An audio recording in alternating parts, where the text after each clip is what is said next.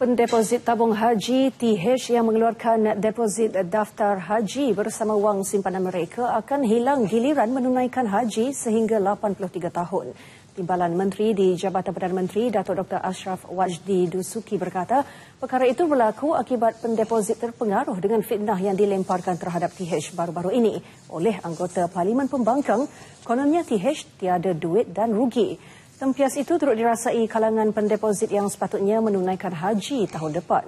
Justru bagi mengelak perkara sama berulang, Datuk Dr. Ashraf mahu pendeposit TH merujuk kepada lembaga tabung haji dan jangan mudah terpedaya dengan sebarang kabar angin yang dikeluarkan mana-mana pihak. Tindakan tersebut akan merugikan pendeposit yang terpaksa menanggung kerugian serta terlepas giliran untuk menunaikan ibadah haji.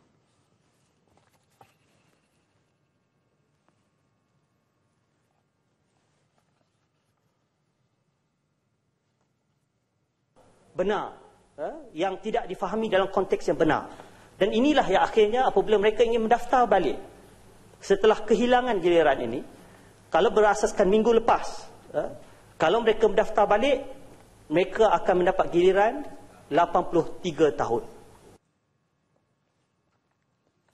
Penjelasan itu menjawab pertanyaan Wakil BN Kuala Selangor, Dato' Irmo Hizam Ibrahim. Semua syarikat telekomunikasi yang memiliki lesen penyedia perkhidmatan rangkaian dibenar menyediakan perkhidmatan internet berkelajuan tinggi. Justru Timbalan Menteri Komunikasi dan Multimedia Datuk Jalani Johari menegaskan tidak timbul hanya Telekom Malaysia sahaja yang memonopoli perkhidmatan berkenaan.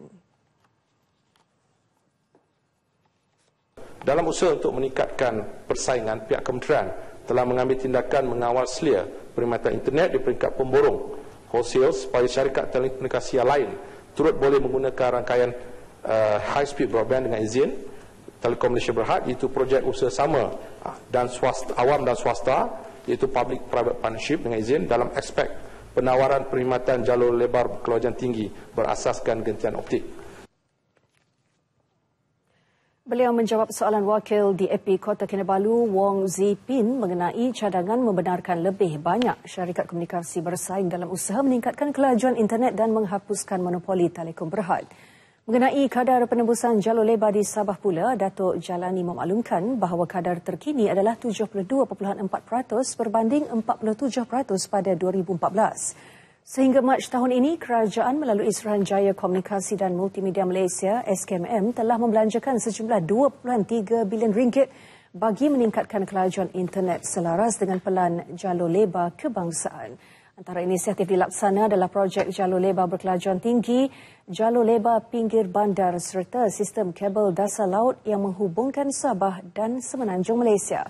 Datuk Jalani menjelaskan hasil pelaksanaan langkah itu ia digunakan ketika berlakunya gempa bumi di Gunung Kinabalu tahun lalu.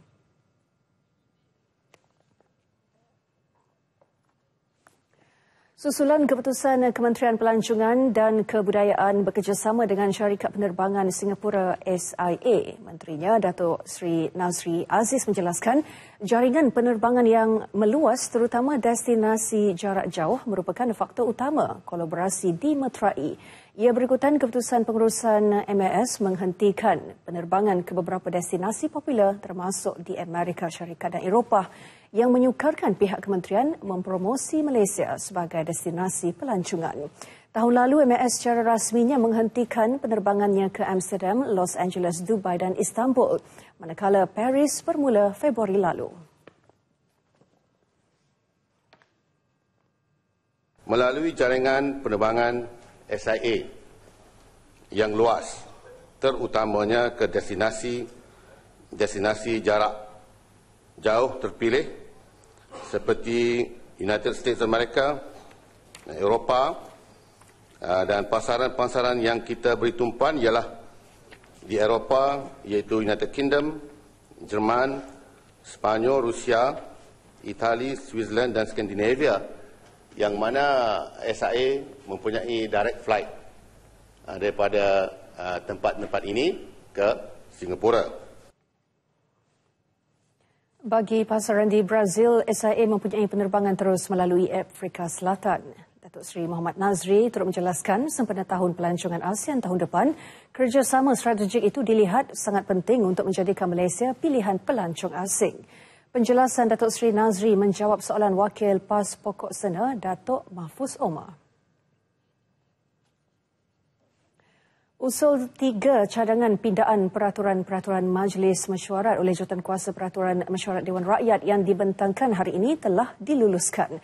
Usul berkenaan dibentang Menteri Pelancongan dan Kebudayaan Datuk Seri Muhammad Nazri Abdul Aziz yang juga merupakan ahli jawatan kuasa berkenaan. Turut menganggotai jawatan kuasa mesyuarat itu ialah yang dipertua Dewan Rakyat Tan Sri Pandika Amin Mulia sebagai pengerusinya. Wakil BN Kuala Krau Datuk Ismail Muhammad Said BN Air Hitam Datuk Wee Kasyong, BN Tapah Datuk M Saravanan, DAP Ipoh Barat M Kula Sigaran dan PKR Padang Serai N Surendran.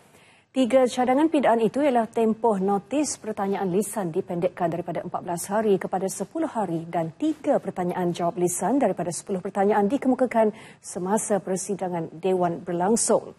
Kedua kamar khas diwujudkan dan ketiga, waktu pertanyaan menteri. Walau apa pun perengan kurungan lima, apa-apa pertanyaan yang berhubungan dengan waktu pertanyaan-pertanyaan menteri, hendaklah mengambil masa 30 minit pada setiap hari Selasa dan Khamis sebelum permulaan waktu pertanyaan-pertanyaan. Peraturan Mesyuarat 24 kurungan 5A adalah berbangkit daripada waktu pertanyaan-pertanyaan menteri di bawah peraturan mesyuarat baru 24A. Persidangan Dewan Rakyat bagi mesyuarat pertama penggal keempat Parlimen ke-13 ditangguhkan hari ini ke suatu tarikh yang akan ditentukan kelak. Persidangan Dewan Negara akan bermula pada 18 April hingga 4 Mei. Laporan penuh saksikan Parlimen 13 pukul 10.30 malam ini di TV1.